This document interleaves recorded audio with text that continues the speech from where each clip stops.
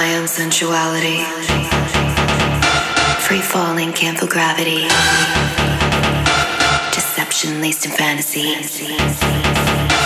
I know you want to come with me.